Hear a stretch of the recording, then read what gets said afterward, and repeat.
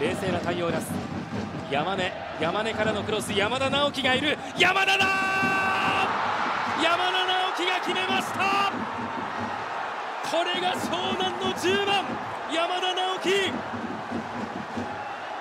復帰後初戦で見事なゴールを決めています!この動き出しのタイミングそしてもうライン際ギリギリのところから。いや見事なゴールですね。これはの左手側に飛んでったんですかね。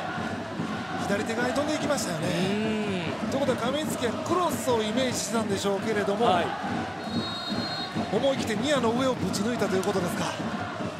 フォワード出身の佐藤さん、はい、この抜け出しからの角度のないところからのシュートこのコントロールっていうのは